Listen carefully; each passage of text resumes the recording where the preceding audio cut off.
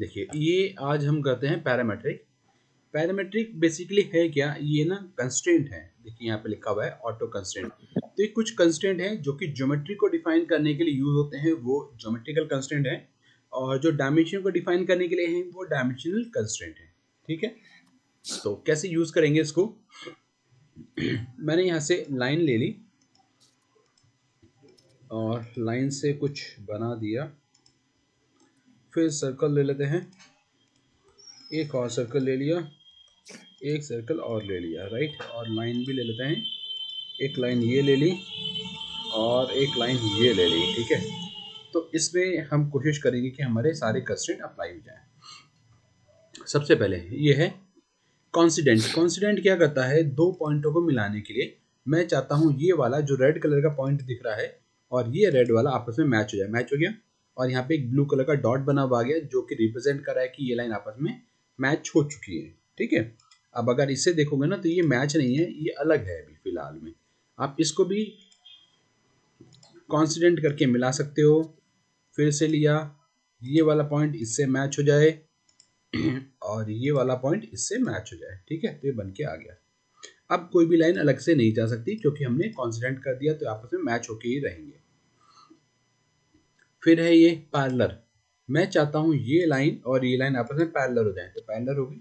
आप अगर एक को भी मूव करोगे तो दूसरा अपने आप साथ में मूव करेगा, क्योंकि दोनों को आपस में पैरलर रहना पड़ेगा और ये आपको दिख भी रहा होगा पैरलर का बना हुआ आ रहा है सिंबल ठीक है?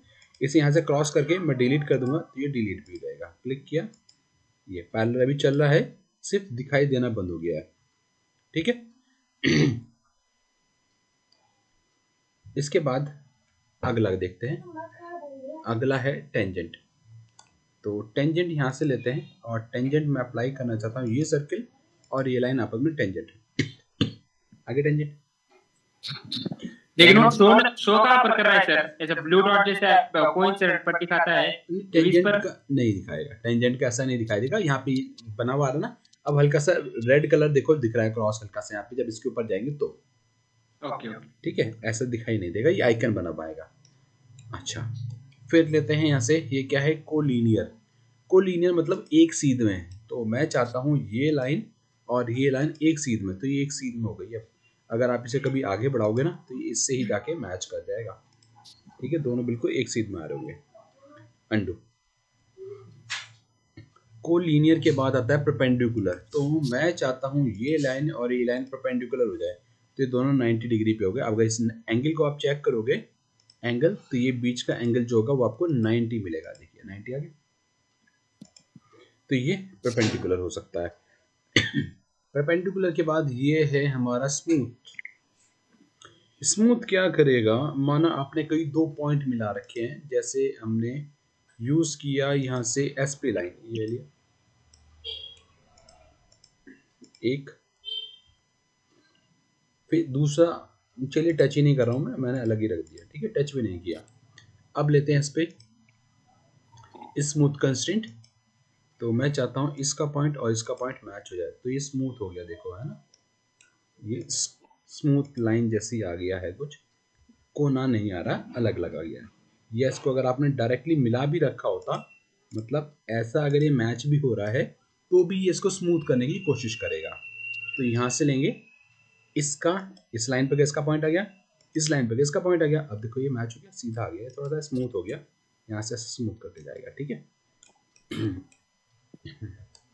स्मूथ के बाद है ये कोसेंट्रिक कोसेंट्रिक दोनों का सेम सेंटर इसका सेंटर इसका सेंटर सेम हो जाए, दोनों का सेंटर सेम हो गया। एक ही सेंटर पे आ गया दोनों। ये हो गया को स्मूथ कोसेंट्रिक कोसेंट्रिक के बाद है ये हमारा हॉरिजेंटल मैं चाहता हूँ ये लाइन हॉरिजेंटल हो जाए। हॉरिजेंटल मतलब सीधी।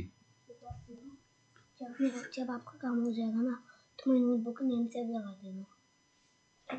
हॉरिजेंटल के बाद फिर आता है ये वर्टिकल तो वर्टिकल के लिए हम इसे क्लिक करते हैं। ये लाइन वर्टिकल हो जाएगी। और ये दोनों लाइन आपस में पैरेलल थी तो ये इसके साथ में पैरेलल हो रही है। ठीक है? फिर आता है ये क्या? सिमेट्रिक सिमेट्रिक ऐसे काम नहीं करेगा। सिमेट्रिक के लिए अंडू कर देते हैं। और एक लाइन ले लेते हैं। ऑर्थ को ऑन करके लाइन ताकि सीधी आ जाए। अब लेते हैं यहाँ से हम सिमेट्रिक फ़र्स्ट ऑब्जेक्ट ये है सेकंड ऑब्जेक्ट ये है, और सिमेट्रिक लाइन ये है। तो ये जिस एंगल पे, जितनी दूरी पे है ये वाली, उतनी ही दूरी पे ये, और उतने ही एंगल पे ये है। ठीक है? तो दोनों एक तरीके से मिरर जैसी होगी लाइन लेकिन छोटी बड़ी हो सकती है, लेकिन है सेम एंगल पे और सेम दूरी पे बीच वाली लाइन से। ठीक है? ये बना आ गया सिमेट्रिक फिर आता है इक्वल इक्वल लेके क्या कर सकता हूँ? मैं चाहता हूँ इस लाइन की लेंथ और इसकी लेंथ बराबर हो जाए। तो इसकी और इसकी लेंथ ये कितना है? फिफ्टीन पॉइंट सेवन इसको भी सिलेक्ट करो, ये भी फिफ्टीन पॉइंट सेवन दोनों की लेंथ बराबर आ जाएगी। इक्वल भी यूज़ कर सकते हैं। इक्वल वाला अगर मैं चाहूँ तो सर्किल पे भी यूज़ हो सकता है। सर्किल पे भी यूज़ हो गया। दोनों सर्किल सेम साइज़ के। अब इसके ऊपर देखो आप कितने सारे कंस्टेंट दिखाई दे रहे हैं ना ज्योमेट्री पे। तो आप क्या कर सकते हो हाइड एंड शो कर सकते हो। किसी को सिलेक्ट करेंगे और एंटर तो इसके कंस्टेंट को हाइड कर सकता हूँ हाइड हो या आप यहाँ से डायरेक्टली कर दो हाइड ऑल सारे हाइड हो गए। काम कर रहा है, चल रहा है, दिखाई भी दे रहा है। आप लेके जाओगे, काम कर रहा है। लेकिन बस यहाँ पे शो नहीं हो रहा आपका। वो हाइड हमने यहाँ से कर दिया। शो ऑल कर दीजिए, सारे शो होने लग जाएँगे हाइड ऑल सारे हाइड हो जाएँगे। तो ये वाला था हमारा ज्योमेट्रिकल कंस्टेंट अब इसके अलावा भी एक और तरीका है। क्या तरीका है?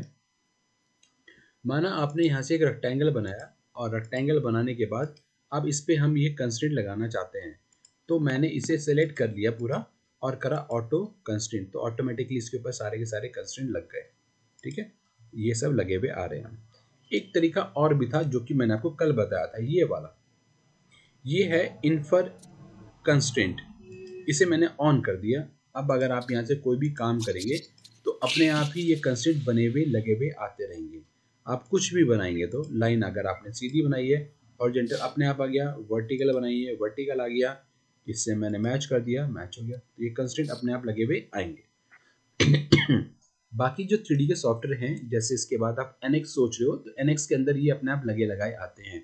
तो वहाँ पे ये ऑप्शन काम करता है और करना ज़रूरी होता भी है पर ऑटो कैड में यहाँ पे ज़रूरी नहीं है ठीक है? तो ये आपके ऊपर है आप रखना चाहते हैं कि नहीं करना चाहते हैं? ठीक है यहाँ पे आगे तो ऑटो कंस्टेंट वाला हो गया। हाइड से हाइड हो जाएँगे सारे के सारे। सर इसमें कॉन्सेंट्रिसिटी नहीं है क्या? इसमें इसलिए ज़रूरी नहीं है क्योंकि ये ना ऑटो ऑटोकैड टू का है और ये जो कंस्टेंट यूज़ करते हैं ये थ्री में ज़्यादा ज़रूरी होता है थ्री में काम आता है। ठीक है? हम्म। चलिए, फिर हम लेते हैं यहाँ से लीनियर और इसके और इसके बीच की दूरी। तो ये दूरी आ गई। कितना करना चाहते हैं? ट्वेल्व तो ट्वेल्व हो गई। अब अगर आप इसे पकड़ते हो और खींचोगे तो उसकी लंबाई चेंज नहीं होगी, क्योंकि हमने वो बारह दे दी। जबकि इधर की लंबाई चेंज हो जाएगी, इसे खींचोगे तो लंबाई इसकी बढ़ गई। लेकिन डायमेंशन करने के बाद आप उसे बड़ा छोटा नहीं कर पाएँगे। हॉर्जेंटल करा। तो इसकी और इसकी बीच की हॉर्जेंटल दूरी ये रही। आप जो भी लिखना चाहते हैं, लिख लीजिए ट्वेल्व पॉइंट फाइव तो ट्वेल्व पॉइंट फाइव हो गया। ठीक है? तो ये क्या कर रहा है? डायमेंशन को फिक्स कर रहा है, ताकि डायमेंशन आपकी हिले नहीं। वर्टिकल वर्टिकल दूरी ले लेते हैं। ये वर्टिकल दूरी हो गई। कितनी चाहिए? थर्टीन पॉइंट फाइव चाहिए। थर्टीन पॉइंट फाइव हो गई। और लॉक बना हुआ है मतलब ये लॉक हो गई है। अब ये चेंज नहीं होगी। चेंज कर सकते हो, इसे डबल क्लिक करोगे तो चेंज भी हो जाएगी, लेकिन अपने आप से नहीं होगी कि आपने स्केच को पकड़ा और खींच दिया और लंबाई बढ़ गई। ना, अब लंबाई नहीं बढ़ेगी। लंबाई चौड़ाई वही रहेगी जो आपने दे दी है। अलाइंड तिरछी डायमेंशन यहाँ से, यहाँ इसके बीच की 15 एंटर 15 हो जाएगी। ठीक है? वैसे ही डायमेंशन है, जैसे हमने पहले यूज़ करी है। रेडियस रेडियस क्लिक कर दिया रेडियस आ जाएगा। लेकिन लॉक हो गया ये भी। एंगल इसके और इसके बीच का एंगल जो भी आ रहा है चेंज करना चाहते हैं, नहीं करना चाहते, आपके ऊपर है। फिर डायमीटर डायमीटर ले लीजिए, डायमीटर आ जाएगा। ठीक।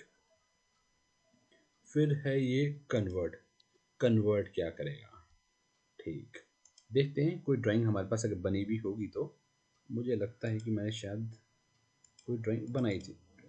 जैसे ये ड्राइंग हमने बनाई थी, है ना? अब एनोटेशन में जाके अगर मैं यहाँ से डायमेंशन कर देता हूँ, और ये डायमेंशन कर दी, और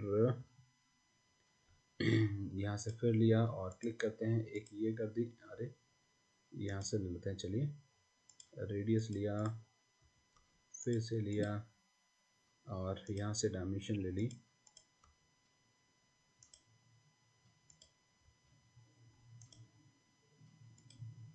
ठीक है? अभी ये सिंपल डायमेंशन है और इसको बड़ा करने के लिए मैंने क्या बताया था? डायमेंशन स्टाइल में जाएँगे, मॉडिफाई में जाएँगे, फिट में जाएँगे। और कितना गुना आप बड़ा करना चाहते हैं, वो एंटर कर दीजिए, वो एंटर होके आपको दिखाई देगा। ठीक है? अब ये सिंपल वाले डायमेंशन है। अगर मैं इन्हें कन्वर्ट करना चाहता हूँ तो आप कन्वर्ट कर सकते हो। कन्वर्ट सेलेक्ट करिए और एंटर ये वाली डायमेंशन आपकी कन्वर्ट हो गई हैं। कौन सी वाली के अंदर? ये वाली कंस्टेंट वाली डायमेंशन के अंदर। ठीक है? लॉक बना हुआ गया ना इस पर इसे क्लिक किया, इसे सेलेक्ट करते हैं। ये नहीं ले रहा इसको। इसको भी नहीं ले रहा।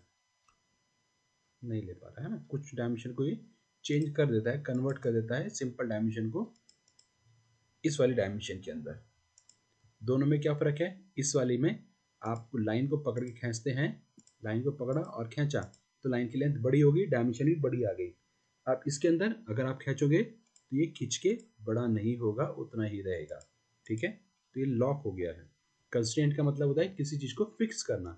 तो ज्योमेट्री को फिक्स करना है तो ज्योमेट्रिकल कंस्टेंट डायमेंशन को फिक्स करना है तो डायमेंशन कंस्टेंट राइट? यहाँ पे आ जाते हैं। ये भी हाइड एंड शो भी काम करेगा यहाँ पे भी। आप हाइड ऑल कर दोगे तो ये वाली डायमेंशन जो कि कंस्टेंट वाली थी, वो हाइड हो जाएँगी। एक मिनट, यहाँ पे हमारे पास ये वाला था ना। ये डायमेंशन हमने कर रखी है।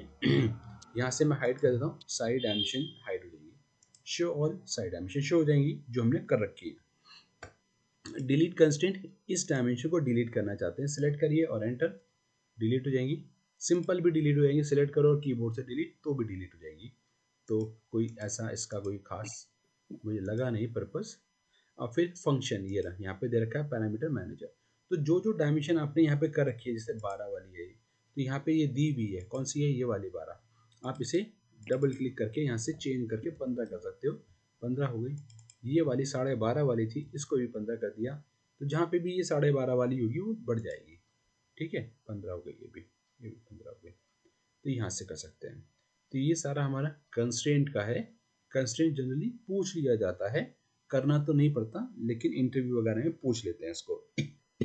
और ये अगर आता होगा तो कैटिया सॉल्वक्स एनेक्स में काम करना थोड़ा सा आसान हो जाएगा, क्योंकि वहाँ पे इन कंस्टेंट के बिना काम चलता नहीं है। ये आपको करना ही पड़ेगा।